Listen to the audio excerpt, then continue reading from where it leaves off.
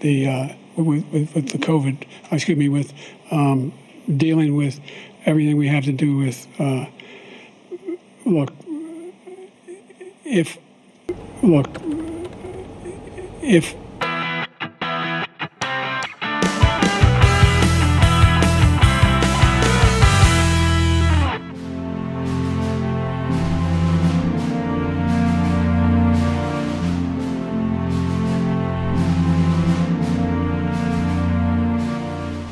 La discussione su chi abbia vinto il primo duello, il primo dibattito presidenziale tra Trump e Biden per questa elezione 2024 è già finito. Penso che Thomas Friedman, editorialista noto progressista del New York Times, abbia sintetizzato molto bene quello che ora probabilmente pensa la maggior parte degli elettori democratici. Biden è una brava persona, è stato un ottimo presidente, ma ora deve ritirarsi e lasciare il campo a qualcun altro. The, the total initiative relative to what we can do with more border patrol and more uh, asylum officers. President Trump?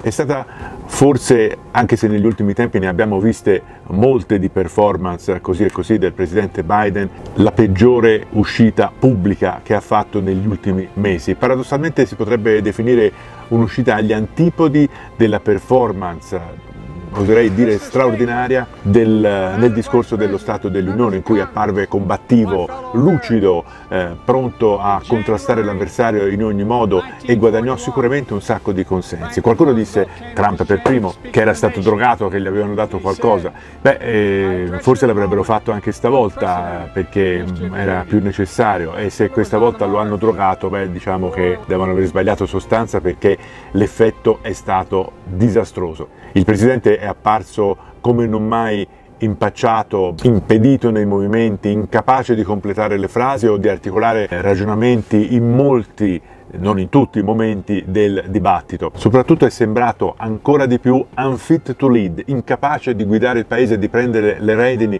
dell'America e questo era ciò che cercavano di capire la maggior parte dei milioni di americani, soprattutto quelli ancora indecisi che hanno seguito il dibattito della CNN. Ricordiamolo, è un dibattito anomalo, è la prima volta che si fa un duello televisivo tra due eh, candidati presidenti che di fatto non sono ancora candidati ufficiali dei loro partiti, in quanto i candidati vengono nominati ufficialmente nelle convention repubblicana e democratica. Queste convention si terranno una a luglio o una ad agosto, in teoria potrebbero anche far uscire nuovi nomi e quindi eh, ci potrebbero essere altri candidati, questo solo in teoria naturalmente, è impensabile che ci siano altri candidati diversi da Trump per i repubblicani, è possibile invece ora che ci possa essere qualche nome che viene fuori per sostituire un Biden sempre più esausto e sempre più inadatto a contrastare eh, la furia, eh, sia pure spesso insensata, di Donald Trump. Qualcuno ha detto non facciamoci la testa tra i democratici, non, eh, non, non, è per un dibattito che perderemo le elezioni, sicuramente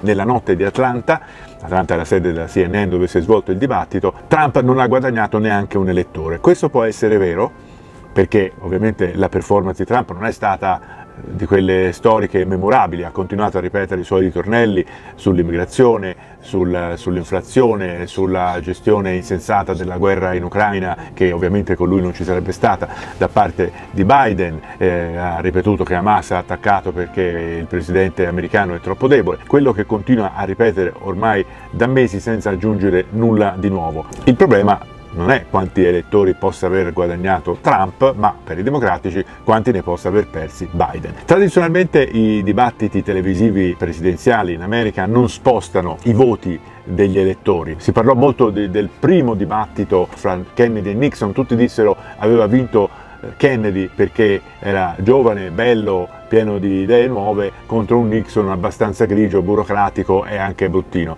Ma questo non è mai stato provato in realtà. Questa volta però è diverso. Il dibattito è avvenuto in un momento molto particolare. Trump, eh, dopo eh, la condanna, dopo essere stato riconosciuto colpevole di 34 capi d'accusa su 34 nel famoso processo di New York, in cui è accusato di avere anche falsificato i bilanci delle proprie aziende per eh, nascondere il pagamento della pornostar con cui aveva avuto una relazione e comprarne praticamente il suo silenzio. Beh, dopo questa incriminazione Trump aveva perso un po' di consensi anche tra i repubblicani, tanto è vero che negli ultimi sondaggi Biden e Trump erano spesso alla pari, quindi diciamo stato, era il momento peggiore questo per Biden per fare una figuraccia e purtroppo così è stato. I dibattiti televisivi spostano i consensi degli indecisi, gli indecisi non sono molti negli Stati Uniti, chi vota repubblicano e chi vota ehm, Trump, chi sostiene Trump lo voterebbe anche se sparasse a un bambino per la strada, è un'argomentazione che si sente fare spesso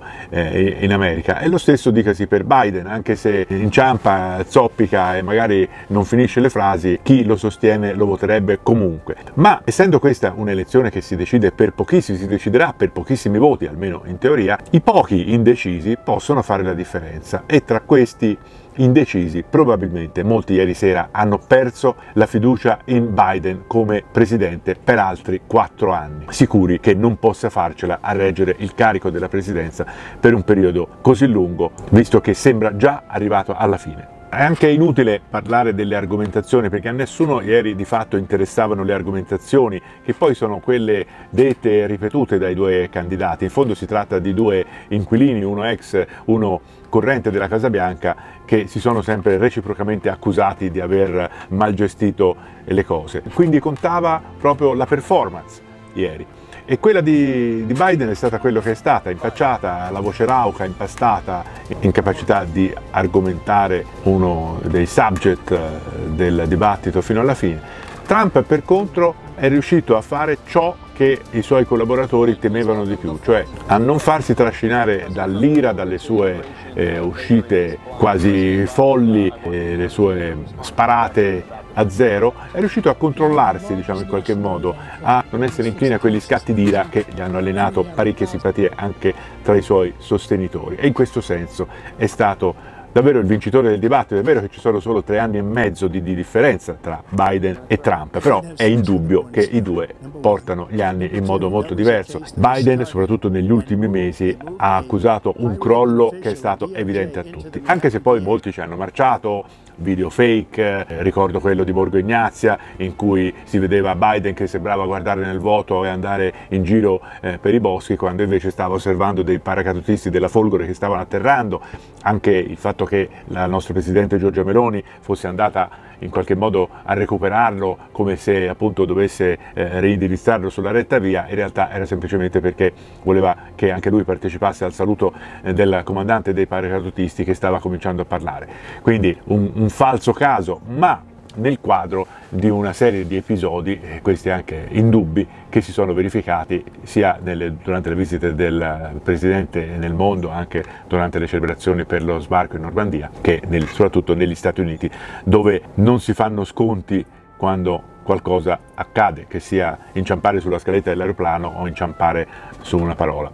Nelle prossime settimane, nei prossimi giorni si vedranno in dettaglio i sondaggi, cioè come questo dibattito abbia influito eh, sulla, sul posizionamento dei due candidati, però non saranno sorprese, si sa già, il primo sondaggio a caldo della CNN dice che il 67% di chi osservava il dibattito tra gli elettori registrati ha dato la vittoria a Trump e questo era scontato. Si vede che sono pochissimi, pare il 5% eh, gli elettori che hanno detto di aver cambiato idea dopo aver eh, visto il dibattito, probabilmente scaricando Biden a favore di Trump o comunque decidendo di non votare per Biden. In un'elezione all'ultimo voto potrebbe anche un 5% avere la sua influenza. Oggi l'informazione è un po' approssimativa, un po' troppo veloce, a volte dà per scontati degli argomenti che magari la gente ha bisogno di approfondire. Se questi video possono offrirvi degli spunti di riflessione, se li ritenete utili, mettete un mi piace e magari anche iscrivetevi al canale che fa sempre bene per l'algoritmo di YouTube. Comunque il dibattito, dicevo, sul dibattito televisivo è già finito. Adesso ciò di cui si parla, soprattutto in campo democratico naturalmente, è che cosa potrebbe succedere, cosa possiamo fare. Potremmo trovare un sostituto di Biden in grado di affrontare una campagna elettorale così breve ed essere vincente? E quindi cominciano a circolare i nomi 5-6 delle possibili alternative a Joe Biden. Per la verità se ne parlava da tempo perché i, le difficoltà del presidente erano già evidenti, ma tutti i personaggi che venivano fuori come possibili candidati repubblicani si sono sempre schermiti, hanno sempre dato il loro appoggio incondizionato a Biden. Non solo, ma due dei democratici che sono in pole position per una possibile ipotetica sostituzione di Biden in corsa, e cioè il governatore dell'Illinois, eh, J.B. Pritzker, e il governatore della California, Gavin Newsom, hanno detto non è per una performance che perderemo le elezioni, siamo al fianco del presidente, Joe Biden resta il nostro candidato.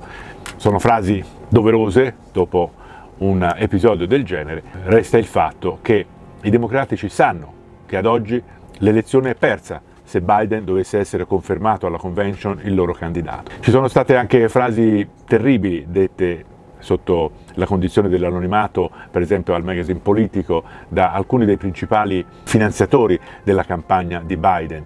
Tutti hanno mandato messaggi con scritto disaster, eh, WTF, che sapete cosa significa in inglese, se non lo sapete cercatelo, non lo posso dire nel video, e uno ha scritto abbiamo soltanto tre soluzioni, che Biden si ritiri, che alla convention emerga qualcuno che prepotentemente salga alla ribalta al suo posto e vinca la convention o che Biden passi a miglior vita. Frasi terribili che però dimostrano il panico che sta attannellando i democratici, consapevoli che l'elezione, come dicevo, è persa se Biden resta il candidato. Ad ora non c'è assolutamente dubbio su questo.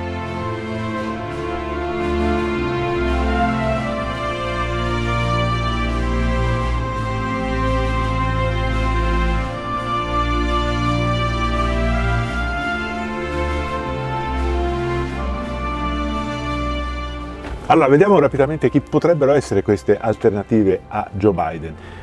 La prima è quella più naturale, la vicepresidente Kamala Harris. Non guadagnerebbe automaticamente i delegati che sono già per Biden, il 95% eh, dei delegati, ma eh, dovrebbe conquistarseli comunque e diciamo che non è probabilissimo che il partito possa puntare su di lei perché non è mai stata una vicepresidente amatissima, non ha sfondato come vicepresidente, era molto più promettente quando Biden la scelse, poi qualcosa si è rotto, non nei rapporti fra i due, ma proprio tra Kamala Harris e l'elettorato. Non ha funzionato e quindi è improbabile che si punti su di lei per la presidenza. Il più quotato è in realtà il governatore della California, Gavin Newsom. È un esponente molto importante del Partito Democratico, ha un profilo nazionale, era anche lui ad Atlanta a seguire il dibattito e ha subito detto che il partito resta unito al fianco del presidente, ma sono frasi che si dicono in pubblico, in privato si sa che poi qualcosa eh, si è rotto, i democratici stanno discutendo forsennatamente su chi possa sostituire il presidente e uno di questi è proprio Gavin Newsom. Se si dovesse mettere eh, su un muro le foto dei candidati presidenti e si dovesse indovinare chi sarà il prossimo presidente, beh Gavin Newsom è quello che ha il physique du rôle per essere un nuovo inquilino della Casa Bianca. Ma non conta solo questo, si vedrà. Il terzo nome che circola in queste ore è quello di Gretchen Whitmer governatrice del Michigan. È famosa soprattutto perché al tempo del Covid seppe tenere la barra dritta contro iraconde accuse di Trump per le restrizioni che aveva imposto, seppe tenergli testa e si conquistò anche la fiducia di tanti elettori democratici e non. Tra l'altro ai suoi danni ci fu anche un clamoroso tentativo di rapimento da parte di una milizia di estrema destra trampiana che voleva segregarla in qualche posto proprio come protesta per le restrizioni che aveva imposto per il Covid. L'FBI sventò il rapimento e ci furono arresti e condanne. Gretchen Whitmer si è fatta il suo nome e potrebbe essere un nome papabile per eh, la sostituzione di Biden come candidata alla Casa Bianca. Poi ci sono altri nomi di secondo piano, comunque quotati, come quello del governatore della Pennsylvania Josh Shapiro e soprattutto quello del governatore dell'Illinois J.B. Pritzker, un personaggio molto colorito e soprattutto stimato, ma anche ricchissimo. È uno che potrebbe al pari di Trump finanziarsi autonomamente anche senza molte donazioni una campagna elettorale dell'ultimo minuto e questo è una cosa che potrebbe avere il suo peso nella scelta del nuovo candidato. Parliamo di nuovo candidato come se fosse scontato, forse non lo è, ma è sicuramente la sola strada che i democratici potrebbero percorrere. Un tentativo disperato, non è mai successo che un candidato fosse sostituito in corsa a pochi mesi dalle elezioni, ma se l'elezione è persa comunque, tanto vale tentare. Certo non può non far riflettere la situazione di un'America costretta prima a scegliere fra due ottantenni, uno instabile fisicamente e l'altro diciamo non stabilissimo mentalmente, poi addirittura a fare i conti con una possibile sostituzione dell'ultimo minuto di uno dei due. E c'è qualcosa che non funziona più dall'altra parte dell'Atlantico, qualcosa che dovrà essere rimesso a posto da un prossimo presidente augurandosi per diversi motivi, almeno a mio modestissimo avviso, che il prossimo presidente non si chiami né Donald Trump né Joe Biden.